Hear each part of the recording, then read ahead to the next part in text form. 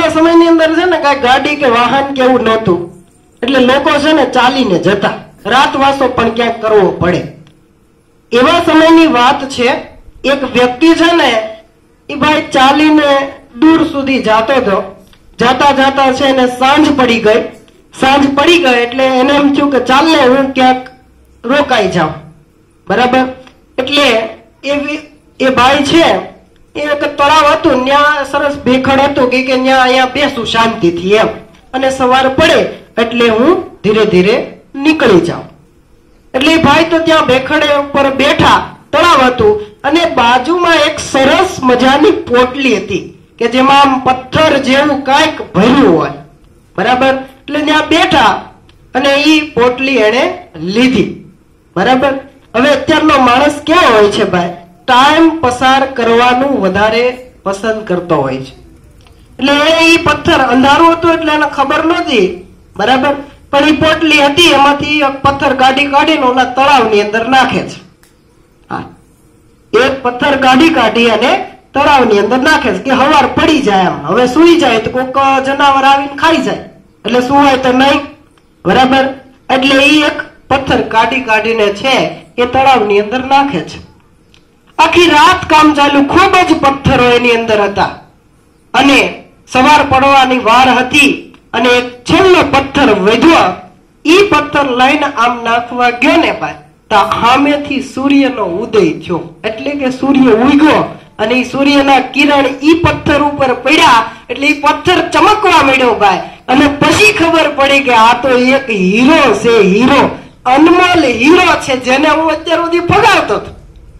ભાઈ તો એ હીરાને એ જોઈને ખૂબ જ પેલા તો ઘડીક તો પસ્તાવો છે તો કે એટલો બધો પથ્થરનો ઢગલો મારી પાસે હતો ની કાદવ ભરેલા, કીચડ ભરેલા, તળાવની અંદર, પાણીની અંદર મેં અત્યાર સુધી બધા પથ્થરો નાખી દીધા અને આ છેલ્લા પથ્થર એને ખબર પડી કે આ જે છે એ અનમોલ ધન છે જો મેં આને બચાવીને રાખ્યું હોત તો એ મને કામ આવત. એમ અત્યારે તમારી પાસે સમય છે એ સમયનો તમે પૂરેપૂરો યોગ્ય ઉપયોગ કરો અને જે કાંઈ આમાં ઘણા બધા બાળકોના જન્મદિવસ આવતા હોય છે.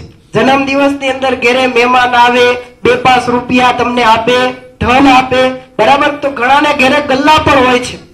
બરાબર? તો એ ગલ્લાની અંદર પોતાનું ધન જમા કરે.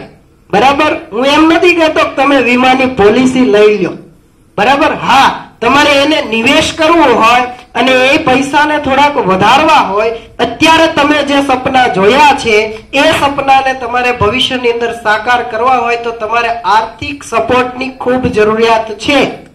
અત્યારે વાલીને બાળકને ડોક્ટર બનાવો છે.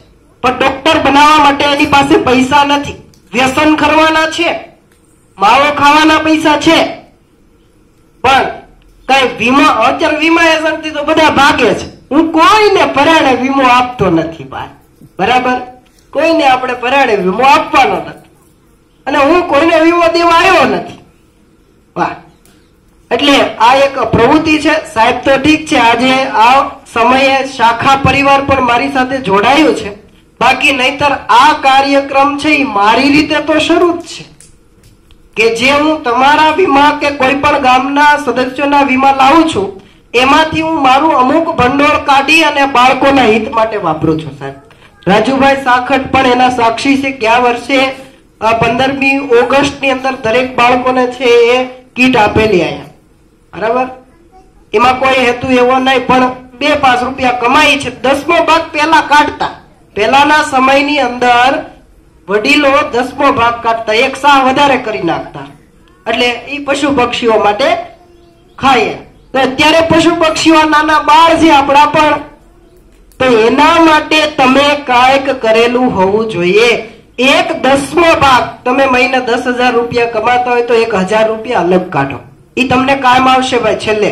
હું નથી કહેતો તમે વીમામાં જ રોકો. ઘરે રોકો ભાઈ. યોગ્ય આયોજન કરો. કોઈક વીમા સલાહકારની સલાહ લ્યો યોગ્ય વીમા એજન્ટકારની સલાહ લ્યો એટલે એ તમારો રૂપિયો છે.